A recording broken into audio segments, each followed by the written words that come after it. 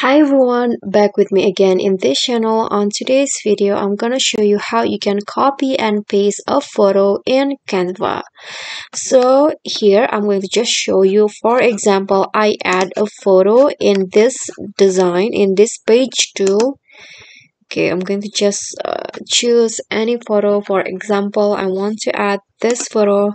And if you want to copy your photo you can actually just right click on the photo and click on copy and then go to the uh, go to where you want to paste the photo and right click again and click on paste. Or you can also use the shortcut. Here I'm going to use the on-screen keyboard so that you can see it. So you can just click on the photo and click on control plus V.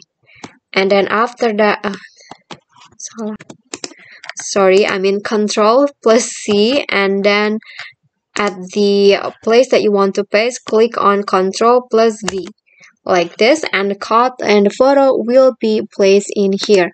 But if you want to uh, copy and paste a photo from outside canva you can do that also. For example i want to add a photo from google search here I want to add, for example, this photos right here.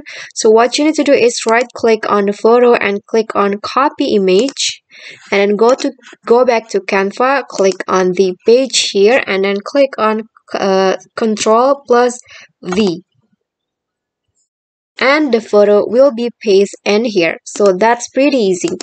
Okay guys so that's all from me. Thank you guys so much for watching. If you enjoyed the video please give me a like and smash that subscribe button down there. And also don't forget to leave a comment. And last please please click on the thanks below. I will really appreciate that. So that's it for me today. See you guys next time